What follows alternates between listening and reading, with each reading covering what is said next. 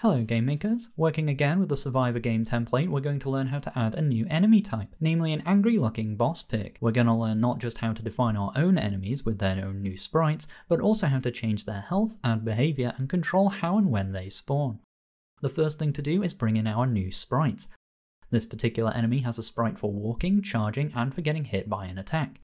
The sprites are called SPR underscore boss pig underscore walk, SPR Boss Pig Run, and SPR Boss Pig Hit. Also be sure to set their origin points to around the center of their feet so they can all rotate and swap between sprites correctly. Here are the origin points I'm using for these sprites. Then we're going to make a new enemy object. Our boss pig is going to behave pretty similarly to a regular undead pig at first, so we'll just duplicate obj pig un and rename it to obj boss pig. All our enemies are based on a parent object called obj_enemy that handles most of how enemies work. This makes it very easy for us to add new enemies that just inherit all of this default behavior. All of these grey events are directly inherited from obj_enemy. If we go to our create event, we can see some specific definitions for the pig enemy that we just copied. Here is where the hit points of the enemy are set. For our boss enemy, we can change this number to 15, giving it 5 times the health of a regular pig. Next, we'll update these sprite variables with our new sprite names. Lastly, we want to define some new variables for our special boss pick. We're going to give it a fancy charge attack just to make it a little bit different. Boss charge cooldown and cooldown max will track how often the charge can happen in frames, so every 120 frames we'll do a new charge. Charge distance is the distance we have to be from the player to perform a charge, and charge active is when we are charging. We also need a boss variable just to tell us that this is a special boss enemy, we'll use this a bit later on. For now though, we also need to add this variable to our base enemy object in the create event, where we'll set it to false so we know regular enemies are not bosses.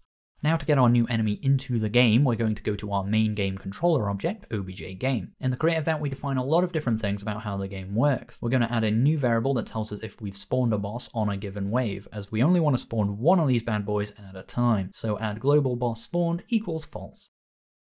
A little further down, we have the spawn enemy function that runs on a loop during any given wave. You can see already how certain hero levels cause different enemy types to spawn. So we're going to check if we're at the right level for our boss to spawn. It can be whatever level you want the enemy to spawn at, but for now, just so we can actually see it working right away, uh, we'll set it to 1.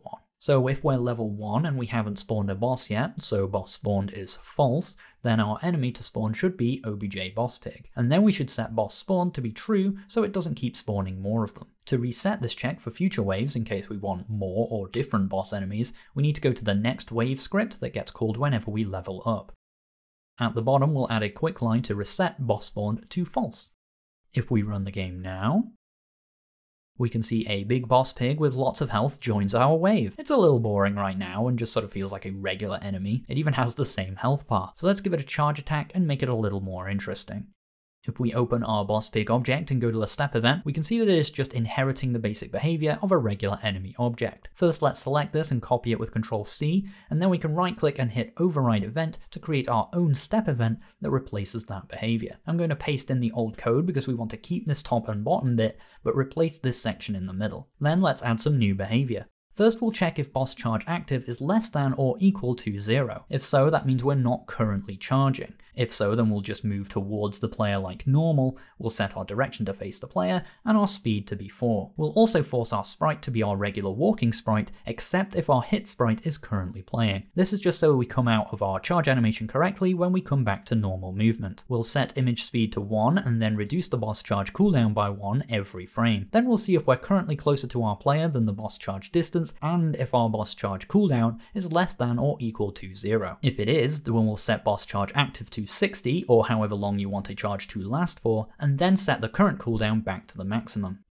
If boss charge active is not less than or equal to 0, and we're currently charging, we'll double our speed to 8 and we'll reduce boss charge active by 1, which will eventually return us to normal behavior when it drops to 0. Lastly, while charging we force our sprite index to be our attack sprite. Again, except for when we're in the hit sprite, that overrides it. And that's it for the charge behavior. One more tiny tweak before we run the game. Let's go to our base enemy object and make it so boss enemies get a wider health bar to make them stand out a bit more. Go to the draw end event where our health bar code is and add a new temporary variable here called width multiplier and set it to 1. But if boss is true, we'll set it to 2 instead. Then we'll go through these two draw sprite ext calls and multiply the X position adjustments by our width multiplier. This will double the width of the health bar for boss enemies. Finally, let's run the game. Here our boss enemy is now doing a cool charge attack when it gets close enough. Hopefully this goes to show just how easy it is to add your own behaviors on top of the existing code in this template. From here you can go on to make however many enemies you can come up with. Best of luck, thanks for watching, and I'll catch you all next time.